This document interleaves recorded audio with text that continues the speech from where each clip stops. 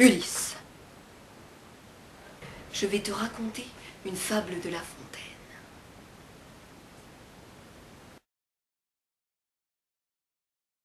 Donc, euh, le loup et l'agneau.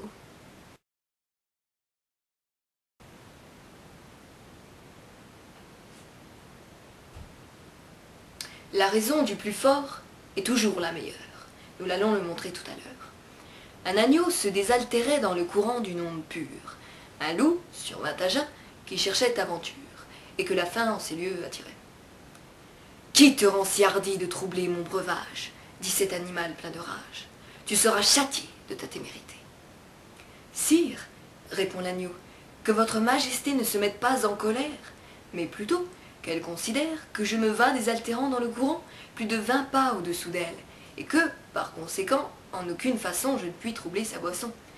Tu la troubles, reprit cette bête cruelle, et je sais que de moi tu médis l'an passé. Comment l'aurais-je fait si je n'étais pas né reprit l'agneau. Je tête encore ma mère. Si ce n'est toi, c'est donc ton frère.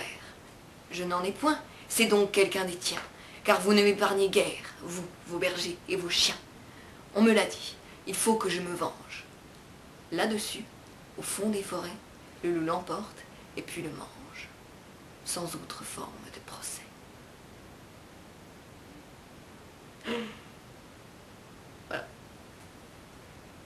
Bonne nuit.